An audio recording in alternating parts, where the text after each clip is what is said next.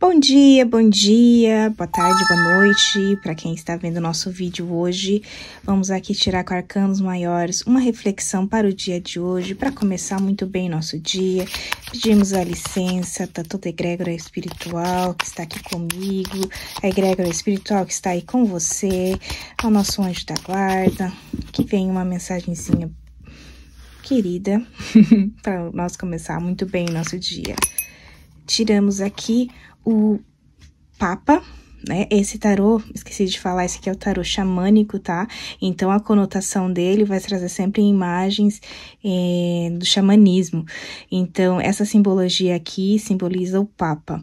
Então, o Papa é um momento de a gente se tocar nesse dia de hoje, um momento da gente se internalizar, né? Puxar, uh, chegar mais próximo da nossa espiritualidade, pedir para Deus um conforto, né? Uma direção para esse dia de hoje.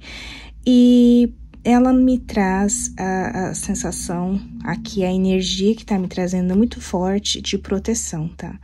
Então, essa carta, ela tá me trazendo que hoje vai ser um dia muito protegido, tá? Você é uma pessoa muito protegida. Sempre tem ah, os espíritos de luz ao redor de você, né? E mantenha o seu foco aonde você quer chegar, mantenha o seu objetivo, tá? Reflita, não esqueça que a espiritualidade está sempre contigo, você está protegida. E essa é a carta do dia. Espero que tenha confortado seu coraçãozinho. E tenha um ótimo dia.